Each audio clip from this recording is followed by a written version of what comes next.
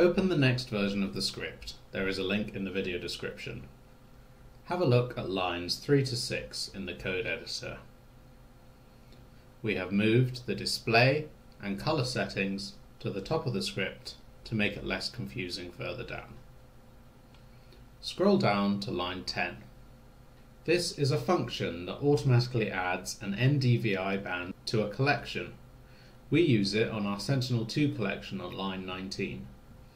You can see that rather than give Google Earth Engine the full equation as we did in the last script, we just use normalized difference and give the two bands. This is a common operation with satellite imagery in remote sensing, and so it has a dedicated command. Have a look at line 17.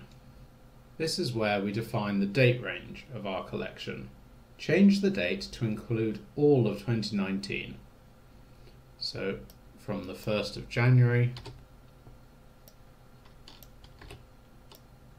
to the 31st of December. You will see that currently, with just three months, we have 16 different images in our collection. But if I run the script, this increases to 50 different pieces of satellite imagery in our collection. So, by making the date range wide, it greatly increases the number of images in the collection and therefore also the time it takes to perform the calculations. So you should try and keep the date range down if possible. Have a look at line 18. We have added an extra filter to our collection that excludes images that have more than 10% cloud cover you can see cloud pixel percentage less than 10, 10%. If we change it to less than 100% and run the script, you will see that we go from 50 elements to 73 pieces of satellite imagery.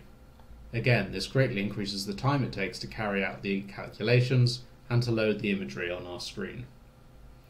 By removing cloudy images, we reduce the size of the collection and increase the overall quality by keeping only the clearest images. It also speeds up the processing time. However, for some date ranges we may have to be less choosy as clear imagery may not be available. So for example, you're more likely to have cloudy imagery in the winter, whereas in the summer you're more likely to have less cloudy imagery. You can reset the script by clicking refresh on your browser.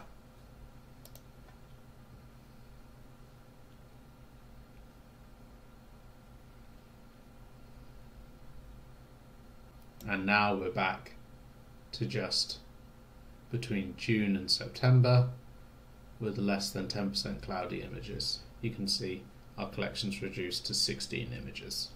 If I zoom in, you will see that with NDVI turned on, we've produced a very similar output to what we had in the last script. Move the processing area to your own area of interest and try changing the date ranges and cloud filter. A three month period and 10% cloud coverage are good starting points.